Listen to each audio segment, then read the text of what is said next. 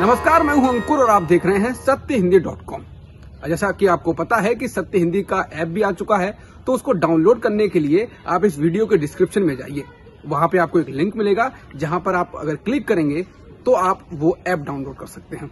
अब एक नज़र डाल लेते हैं अब तक की खबरों पर। मध्य प्रदेश में सरकार चला रही बीजेपी के विधायक राजेश प्रजापति मंगलवार रात को एक डीएम के आवास के बाहर धरने पर बैठ गए। विधायक ने आरोप लगाया कि छतरपुर के डीएम ने उनसे मुलाकात नहीं की और दलित होने के कारण उनकी उपेक्षा की जा रही है। विधायक ने पत्रकारों से बातचीत में कहा कि वे अपने क्षेत्र की समस्याओं को लेकर डीएम से मिलने आए थे, लेकिन डीएम कहीं चले गए और वे उनका इंतज़ार करते रहे। विधायक ने कहा कि लौटने के बाद डीएम आरटीओ सहित बाकी अफसरों, कर्मचारियों से मिलते रहे, लेकिन उनसे नहीं मिले। उन्होंने कहा कि डीएम एक दलित विधायक से मिलकर उनकी समस्याओं को नहीं जानना चाहते।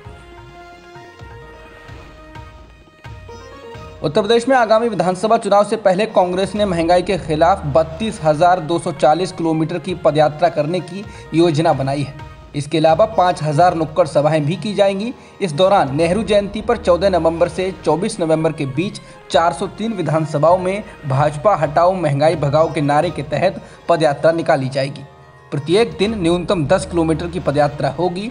पदयात्रा के दौरान महँगाई की समस्या पर नागरिकों के साथ बैठक होगी और घर घर कांग्रेस के प्रतिज्ञा पत्र का वितरण किया जाएगा। पदयात्रा के रूट पर पड़ने वाले हाट बाज़ार में शाम को रोज़ाना नुक्कड़ सभा होगी। प्रत्येक विधानसभा में 80 किलोमीटर की पदयात्रा होगी जो न्यूनतम 60 ग्राम सभाओं से होकर निकलेगी। इसके अलावा प्रदेश भर में 24,180 ग्राम स्तरीय बैठकें होंगी। नई दिल्ली में अफ़गानिस्तान को लेकर हो रही एनएसए स्तर की बैठक में शामिल आठ देशों द्वारा की गई घोषणा में कहा गया है कि अफ़गानिस्तान की ज़मीन का उपयोग किसी भी आतंकवादियों को पनाह देने, प्रशिक्षण देने या वित्त पोषण के लिए नहीं किया जाना चाहिए। इस दौरान अफ़गानिस्तान में सुरक्षा, स्थिरता और शांति बनाए रखने पर एकमत होते हुए वहाँ की संप्रभुता और क्षेत्रीय अखंडता को कायम रखने पर सहमति जताई गई। राष्ट्रीय सुरक्षा सलाहकार अजीत डोभाल ने बुधवार को अफगान संकट पर भारत द्वारा आयोजित आठ देशों के संवाद में कहा कि अफ़गानिस्तान में हाल के घटनाक्रम न केवल उस देश के लोगों के लिए, बल्कि उसके पड़ोसियों और क्षेत्र के लिए भी काफ़ी महत्वपूर्ण है और इनका क्षेत्रीय इलाकों में प्रभाव पड़ेगा। बैठक की अध्यक्षता करते हुए डोभाल ने अपनी शुरुआती टिप्पणी में कहा कि अफ़गानिस्तान में स्थिति पर क्षेत्रीय देशों के बीच घनिष्ठ परामर्श और अधिक सहयोग और समन्वय का समय है।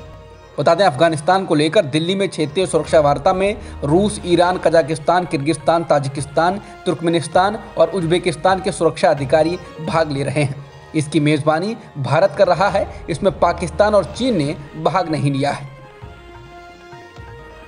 बुधवार सुबह सिंगू बॉर्डर पर एक किसान का शव पेड़ से लटका हुआ मिला है।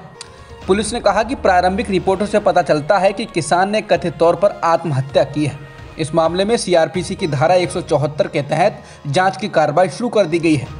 पुलिस के अनुसार मृतक की पहचान फतेहगढ़ साहिब ज़िले के रुड़की गाँव निवासी गुरप्रीत सिंह के रूप में हुई है। वह भारतीय किसान यूनियन एकता सिद्धूपुर से जुड़े थे। वहीं भारतीय किसान यूनियन एकता सिद्धूपुर के फतेहगढ़ साहिब के जिला संयोजक गुरजिंदर सिंह ने कहा है कि गुरप्रीत सोमवार को अपने गाँव से वापस सिंगू बॉर्डर पर लौटा था उन्होंने कहा कि गुरप्रीत पिछले दो दिनों में किसानों के साथ अपनी बातचीत में इस बात से परेशानी ज़ाहिर कर रहा था कि सरकार एक साल होने के बाद भी किसानों की मांगों को नहीं सुन रही है। वो इस गतिरोध को लेकर परेशान था।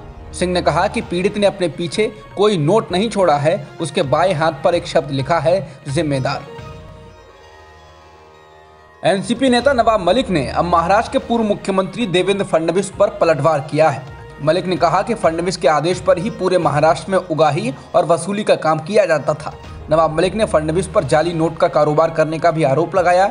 मलिक ने कहा कि जब नोटबंदी हुई, कई राज्यों में जाली नोट पकड़े गए, लेकिन एक साल के बाद भी 8 अक्टूबर 2017 तक महाराष्ट्र में एक भी जाली नोट पकड़ने का केस नहीं आया। इसके पीछे कारण था, फडणवीस का ऐसे नेक्सस को संरक्षण था। मलिक ने इसके साथ ही कहा कि 8 अक्टूबर 2017 को एक छापेमारी हुई। इसमें 14 करोड़ छप्पन लाख रुपए के जाली नोट पकड़े गए। उस मामले को रफा दफ़ा देवेंद्र फडणवीस ने कराया था। इसमें इमरान आलम शेख, रियाज शेख को पकड़ा गया, लेकिन बाद में इस जब्ती को आठ लाख अस्सी हज़ार रुपए बताकर दबा दिया गया जाली नोटों के कारोबार का आरोप फडणवीस पर लगाते हुए एनसीपी नेता नवाब मलिक ने कहा कि पाकिस्तान के जाली नोट भारत में चले, मामला दर्ज हो और उसमें कुछ दिनों में जमानत हो जाती है। मामला एनआईए को नहीं दिया जाता है। नोट कहाँ से आ रहे थे, इसकी जाँच आगे नहीं बढ़ती है, क्योंकि जो लोग इसका रैकेट चला रहे थे, उनको फडणवीस सरकार का संरक्षण प्राप्त था। एनसीपी नेता नवाब मलिक ने कहा कि पूर्व मुख्यमंत्री देवेंद्र फडणवीस समीर वानखेड़े को बचाने की कोशिश कर रहे हैं, क्योंकि वानखेड़े उनका पुराना करीबी है। इसके साथ ही उन्होंने कहा कि फडणवीस ने सारे अंडरवर्ल्ड कनेक्टेड लोगों, अपराधियों को सरकार आयोगों में पद पर बैठाया। इस दौरान मलिक ने मुन्ना यादव जैसे कई लोगों के नाम और कारनामे बताए। नवाब मलिक ने कहा कि फडणवीस ने राजनीति का अपराधीकरण किया। नवाब मलिक के देवेंद्र फडणवीस पर हमले के बाद बीजेपी ने मलिक के हाइड्रोजन बम गिराने के दावे पर मज़ाक बनाया बीजेपी नेता आशीष शेलार ने पलटवार करते हुए कहा कि जिन लोगों ने हाइड्रोजन बम का दावा किया, वो फुलझड़ी भी नहीं फोड़ सके। इसके साथ ही उन्होंने कहा कि हाँ मुन्ना यादव, हाजी अराफात और हैदर आज़म पार्टी कार्यकर्ता हैं, लेकिन अराफात और आज़म के खिलाफ एक भी मामला नहीं है। उनके बारे में पड़ताल के बाद ही उनको पार्टी में लिया गया था। और इनमें से कुछ भी फडनवीस के समय में नहीं हुआ, जैसा दावा किया गया है। उन्होंने ये भी कहा कि इमरान आलम शेख, जो नकली नोट के साथ पकड़ा गया था, उस समय वो कांग्रेस सचिव था और अब एनसीपी कार्यकर्ता है। नवाब मलिक के द्वारा देवेंद्र फडणवीस पर हमले के एक घंटे बाद फडणवीस ने लेखक जॉर्ज बर्नार्ड शो के एक उद्धरण के साथ जवाब दिया। जिसमें कहा गया है कि मैंने बहुत पहले सीखा था कि सुअर के साथ कभी कुश्ती ना करें। आप गंदे हो जाते हैं और इसके अलावा सुअर इसे पसंद करता है। उत्तर प्रदेश के कासगंज के कोतवाली में एक युवक की मौत होने पर पाँच पुलिसकर्मियों को सस्पेंड कर दिया गया। है दरअसल एक किशोरी को अगवा करने के आरोप में अल्ताफ नाम के युवक को पुलिस ने हिरासत में लिया था। बीते मंगलवार को कोतवाली के हवालात में अल्ताफ की मौत हो गई। इसको लेकर पुलिस का कहना है कि युवक ने हवालात के टॉयलेट में जाकर उसमें लगे नल की टोटी से जैकेट की डोरी फंसाकर फांसी लगा ली। पुलिस का कहना है कि बाद में उसको इलाज के लिए ले जाया गया, लेकिन उसने अस्पताल में दम तोड़ दिया।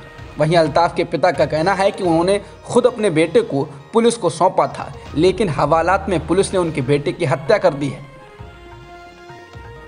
उत्तर प्रदेश के कासगंज में पुलिस हिरासत में युवक की मौत से यूपी पुलिस एक बार फिर सवालों के घेरे में है। इस मामले में यूथ कांग्रेस के अध्यक्ष श्रीनिवास बीवी ने कासगंज पुलिस अधीक्षक रोहन प्रमोद बोत्रे की बाइट को ट्वीट करते हुए सवाल उठाए। हैं श्रीनिवास बीवी ने कहा है कि थाने के बाथरूम में लगी नल की टोटी से लटक कर कोई आत्महत्या कैसे कर सकता है यूपी पुलिस?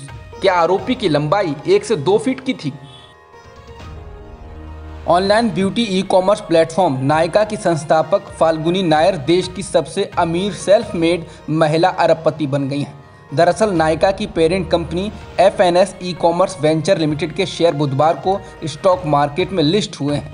लिस्टिंग के साथ ही कंपनी के शेयरों में नवासी फ़ीसदी की तेज़ी देखी गई। फाल्गुनी नायर, जो कि नायका के आधे मालिक हैं, उनकी इसके साथ ही संपत्ति छः दशमलव पाँच बिलियन डॉलर की बताई जा रही है। इसके साथ ही वे दुनिया की सबसे अमीर लोगों की श्रेणी में आ खड़ी हुई हैं। बता दें, कंपनी का इश्यू प्राइस ग्यारह सौ पच्चीस रुपये था, लेकिन ये दो हज़ार चौवन रुपये पर लिस्ट हुआ। राजस्थान के बाड़मेर ज़िले में जोधपुर नेशनल हाईवे पर निजी बस और ट्रक की टक्कर होने से बड़ा हादसा हो गया। टक्कर के कारण आग लगने से अब तक 11 लोगों की मौत होने की खबर है और 23 लोग अस्पताल में भर्ती हैं। मरने वालों की संख्या में इजाफा हो सकता है। हादसे के बाद मुख्यमंत्री अशोक गहलोत ने बाड़मेर कलेक्टर को बचाव कार्यों के लिए निर्देशित किया है और घायलों का बेहतर इलाज सुनिश्चित करने को कहा है। अब तक की सुर्खियों में इतना ही। बाकी खबरों के लिए बने रहिए सत्य हिंदी डॉट कॉम के साथ। सत्य हिंदी का ऐप डाउनलोड करें गूगल प्ले स्टोर पर।